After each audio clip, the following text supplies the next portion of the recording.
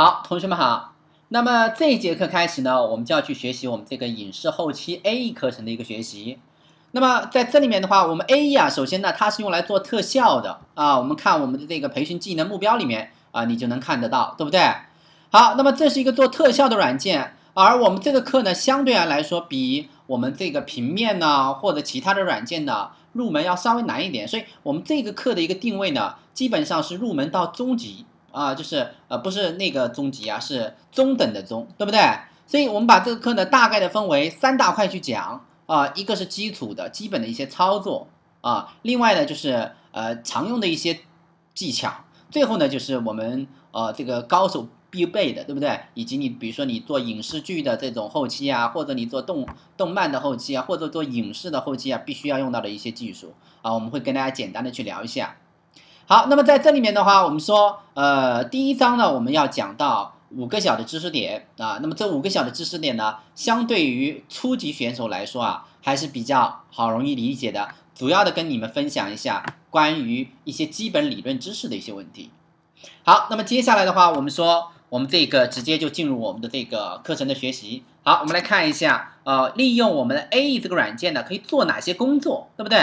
好，这是呢，呃，我们之前老师之前在我们的这一个一个传媒公司啊，呃，去做的时候，呃，一些简单的作品的一个合集啊，那么这时候大家可以看看，利用我们这个 A E 的软件可以完成哪些效果。好，我们来打开。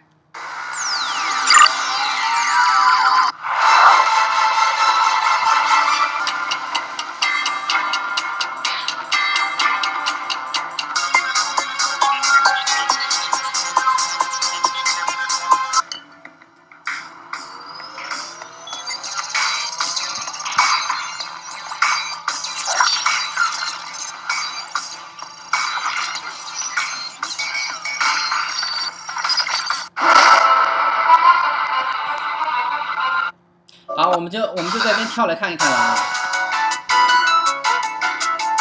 今天我很高兴和大家一起讨论一个话题，有点有的。是貌美如花，东尼觉得自己是黯然失色，赶紧闪到一边来，把镜头就交给他们。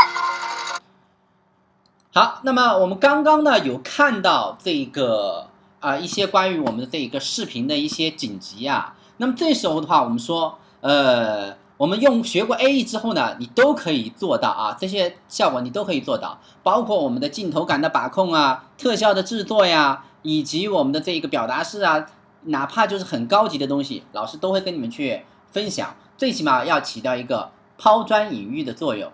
好，那么接下来呢，我们打开我们的 A 软件，我们把这个里面第一小节的一个知识点跟大家去分享一下，在这里面呢，我们要讲三个知识点，第一个叫扫描方式。什么叫做扫描方式呢？好，我们来先给大家看啊。那么这个扫描方式其实是一个电视信号的一个问题，对不对？好，我们来给大家看，找到我们的那个课件，嗯，A 特效的课件。老师呢在这个地方准备了一个关于左行扫描与隔行扫描的一个案例。那么首先呢，我们在这里面先解释一个关于左行与隔行的一个问题。你看，这个是一格有信号，一格没有信号，一格有信号，一格没有信号。那么这时候啊，这个就是典型的是隔行扫描，对不对？隔行扫描，那么这个典型的就是上场优先啊，那这就是下场优先了。那这就是左行扫描。那么这两个区别是什么呢？好，这个区别呢，我们给大家简单的标注一下。那么这个呢是用在隔行扫描，这个是用在电视画面啊，用在 TV 上面的，对不对？啊，用在我们的电视画面上面的。而我们说下面的这个呢，它是用在电脑上面的，用在我们的呃 PC 上面的，对不对？啊，用在我们的 PC 上面的。所以这个呢，当然手机也是啊，手机也是啊。那么这个的话，呃，就是它们不一样的地方。所以我不知道大家有没有注意过，就是你用你的拍摄设备啊，去拍电视的时候啊，或者拍那种以前老的那种 CRT 显示纯屏显示器的时候，你的在你在你的画。这个手机画面或者你的摄像画面上，你是能看到那种呃扫描状的、晃动状的那种条纹的，哎，那就是典型的隔行扫描。那么我们在这里面呢，有一句话叫做呃场啊，对不对？哎，这个是什么意思呢？其实场就是形成我们啊画面或者帧的原因啊。场呢分为上场与下场啊，有上下之分啊，有上跟下之分。那么比如说你看接下来这个典型的画面，哪一个就是上场优先的？这个，这个就是下场优先，什么意思？好，我们具体的呢来结合我们的这个实际的案例啊，去跟大家去做一做。好，比方说我们在这里面呢取了一个电视画面，对不对？有人说老师，这个电视画面为什么不清晰呀？它为什么有这种黑条状啊？这就是典型的我们说呃电视的一个画面。当然，这个画面我也不知道它是上场优先还是下场优先，因为根本看不出来嘛。这就是典型的电视画面，一一场有内容，上场有内容，下场就没有内容。那么这时候像这个工作，我们怎么样去进行完成呢？好，我们接下来看一看。怎么样去？这是一个电视画面，对不对？我要把它转成电脑里面的画面，怎么样去转呢？好，在我们的 Photoshop 滤镜里面有一个叫做视频，视频里面有左行。那这时候我们先猜一下偶数行。好，一看这个就变成了黑色了，那说明你的内容不在偶数行里面。那这时候我们再去猜，还是视频左行，我们猜奇数行，哎，就。假设我们的内容啊是在奇数行里面的，那这时候我们来试试看，的确，哎，这时候你看画面是不是就得到了修正了呀？是不是这样子的啊？当然这张图本身就不是很清楚啊，本身就不是很清晰，所以这就是一个场的问题。电视里面才有场，而我们的电脑里面呢它是没有的。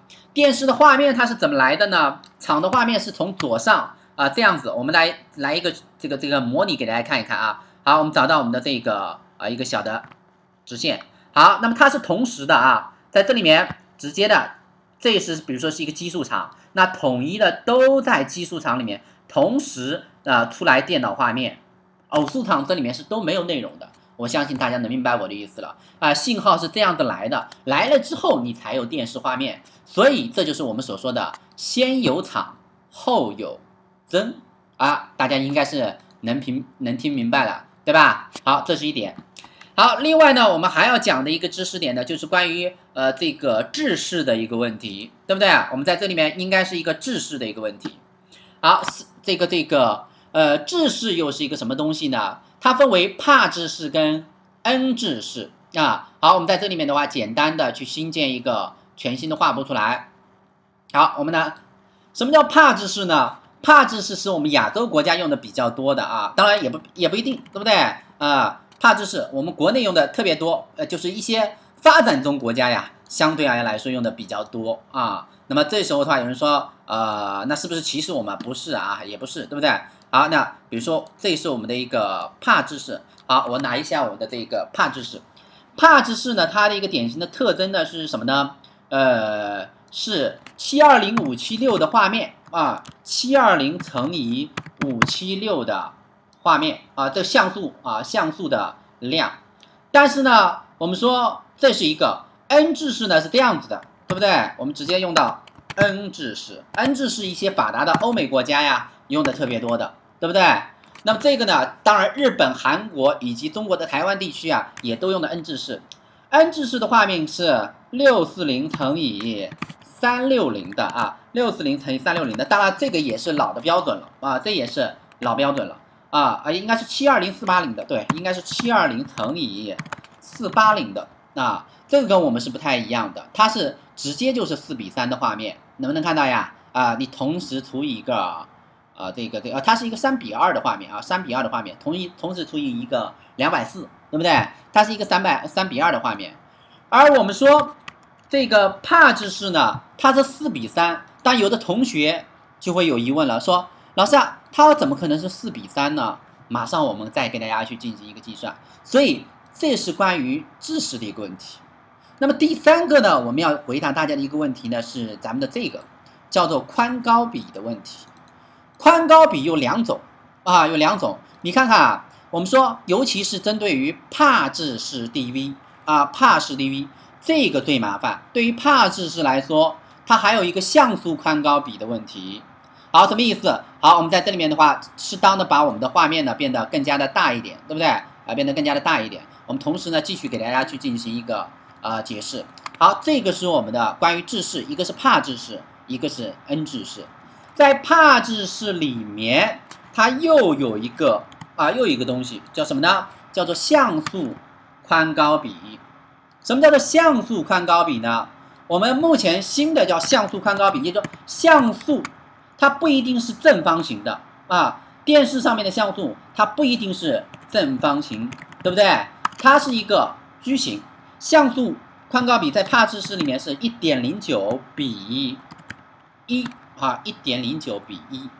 那么我们这时候知道啊，如果是这样的一个画面，那比方说我们在这里面任意找到我们的一个形状工具，那么这时候的像素它有多少个像素呢？这个矩形里面有七七百二十个像素，对不对？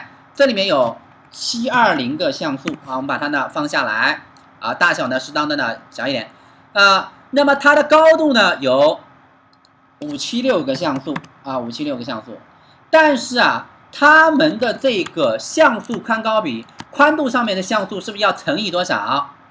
宽度上面的像素要乘以多少？要乘以一点零九，它要乘以一点零九的呀，对不对？要乘以一点零九。那么这时候画面的宽高比是多少呢？是不是应该是用七二零乘以一点零九比上五七六啊？那么这时候我们看看是不是一点三三循环？好，我们打开我们的计算器啊，我们打开我们的计算器，我们来试试看啊。这是像素宽高比啊，像素宽高比。好，七二零乘以一个一点零九，再除以一个五七六啊，再除以五，应该是一点三三三循环左右。它这边是一点三六，是一个约等于。所以你看它的画面画面宽高比是不是还是四比三呢？哎，所以这就是一个像素宽高比跟画面宽高比的一个问题。哎，帕制是有啊有特殊的地方在里面，那么 N 制式呢无所谓了，对不对？N 制式无所谓，所以经常我们会在这里面呢，呃，有的时候要去怎么样进行一个素材的解释啊。好，那么这时候的话，关于素材解释的问题呢，我们把它放到下面的课程上面去进行讲解。这节课三点，第一个关于制式的问题，帕制式、N 制式。第二个就关于像素宽高比跟画面宽高比的一个问题，对不对？那么另外呢，一个就是关于我们呃基础知识里面还有一个知识点叫什么呢？扫描方式上场下场的一个问题，画面是怎么来的？好，那么本节课呢，关于这个第一节课的内容呢，我们就先跟大家聊到这个地方。非常感谢大家的学习，我们下节课再见。